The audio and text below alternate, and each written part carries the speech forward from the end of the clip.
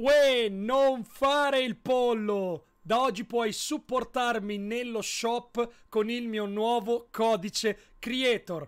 Clicca in basso a destra sul tasto Supporta un creatore ed inserisci Xiuderone. Dai!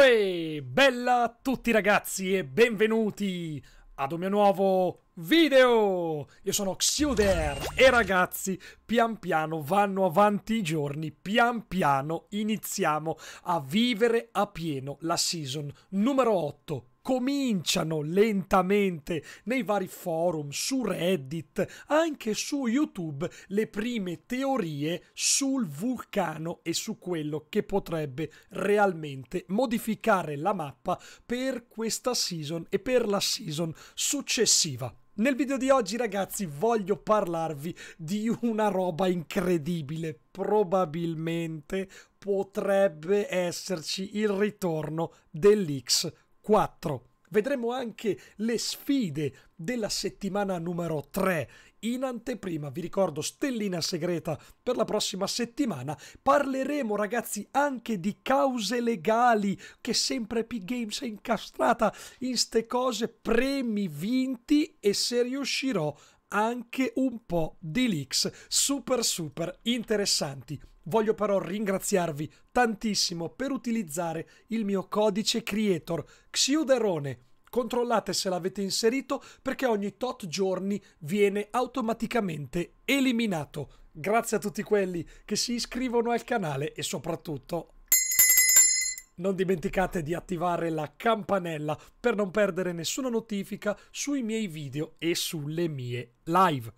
Ma prima ragazzi, la, la, domandina ragazzi, ve la devo fare. Questa è una bella domanda raga. Mi raccomando i vostri commenti proprio qui sotto e la domanda di oggi... Ma qual è stata la prima skin che hai shoppato? La prima in assoluto.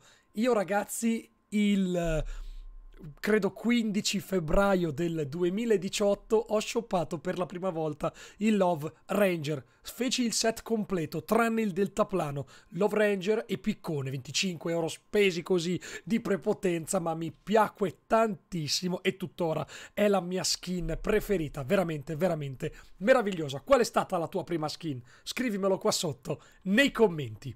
Ma quindi ragazzi, perché non si sposta? Non si sposta? No, che, che cosa sta succedendo? Ma, ma che cosa sta... Ma vabbè, ciancio alle bande e bando alle ciance ragazzi, parliamo subito delle due skin. Succedono le cose, non so cosa succede. parliamo subito delle due skin ragazzi che sono uscite ieri nello shop. Due skin molto interessanti, eh, Falco Solare e... Mezum Maral, non ricordo bene il nome del tizio, comunque entrambe skin che vanno a riprendere un pochettino la, ehm, la cultura azteca, maya, quelle cose lì tutte un po' strane, ragazzi. Ovviamente entrambe le skin si collocano nella, ehm, nella nuova city, quella che c'è in poche parole in alto a destra della mappa. Ma c'è una curiosità.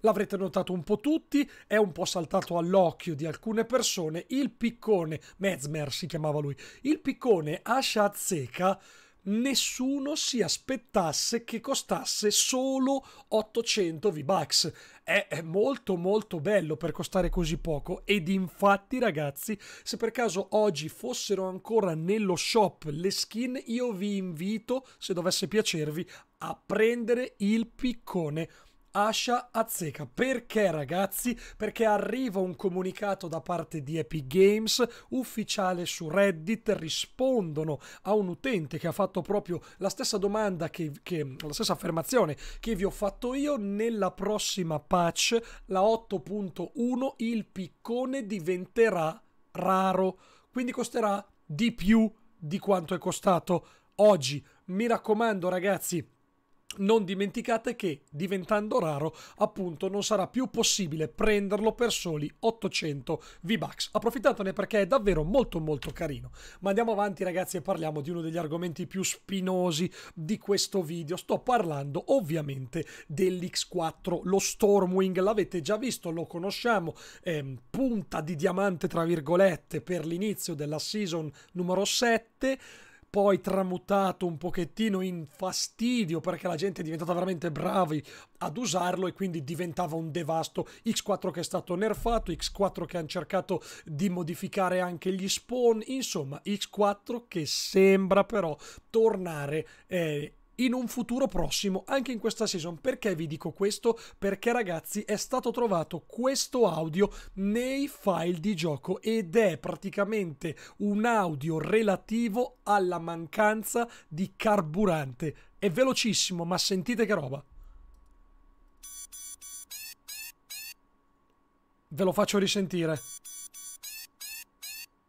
Praticamente ragazzi questo è associato alla possibilità che l'X4 abbia il carburante. Non si sa se tornerà nel Battle Royale classico o se invece potrebbero tornare in una modalità a tempo limitato. Io spero davvero ragazzi che sia come ho detto ehm, come seconda scelta, quindi che non rivengano gli aeroplani nel Battle Royale, soprattutto con tutta l'ambientazione a tema piratesco e davvero mi auguro li reinseriscano solo però in una modalità a tempo limitata. Ma andiamo avanti ragazzi e parliamo anche delle mote, eh, il balletto ragazzi. Insomma, sappiamo tutti ragazzi che eh, sono tante le cause legali legate ai vari balletti, alle varie mosse eh, che Epic Games ha utilizzato soprattutto, soprattutto all'inizio, quando ancora Fortnite non era così famoso a livello globale.